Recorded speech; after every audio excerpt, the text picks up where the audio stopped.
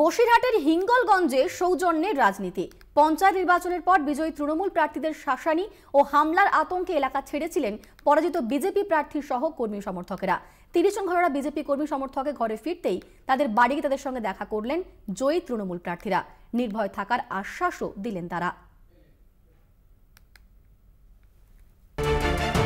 উত্তর চব্বিশ পরগনার বসিরহাটের হিঙ্গলগঞ্জ ব্লকের স্যান্ডেল বিলগ্রাম পঞ্চায়েতে জেলা পরিষদ পঞ্চায়েত সমিতি গ্রাম সভায় বিরোধীরা ধরাশায়ী হয়েছে।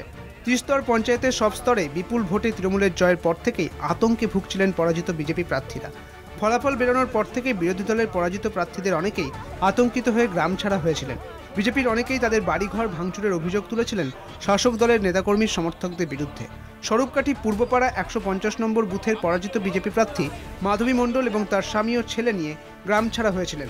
তার অভিযোগ ছিল, শাসক দলের নেতাকর্মী সমর্থকরা তার বাড়ি ভাঙচুর করে ভয় দেখাচ্ছে, জমিতে বীজ ধান ফেলতে দিচ্ছে না।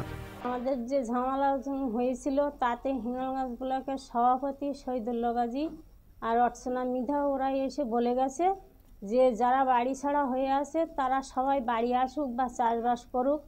এতে কোনো অসুবিধা আমরা চাই না। যাতে ভালো হয় সেইটাই আমরা চাই। ওদের এখন বাড়ি আসতে বলো কোনো আর অসুবিধা হবে না। কেন্দ্রীয় ফ্যাক্ট ফাইন্ডিং টিম মাধবীর বাড়িতে গিয়েছিল। কেন্দ্রীয় প্রতিনিধি দলকে নিজের সমস্যার কথা জানিয়েছিলেন মাধবী। এবার তার বাড়িতে এলাকার জয়ী তৃণমূল কর্মী সমর্থক সমেত জয়ী তৃণমূল প্রার্থী হাজির। কয়েকটা বাড়ি পরিদর্শন করেন তারা। সকলকে নির্ভয়ে বাড়ি ফেরার আশ্বাস দেন। এলাকায় শান্তি ফিরিয়ে আনার আর্জি জানান। দেখুন কেন্দ্রীয় আইনমন্ত্রী এসেছিল সরবকাটিতে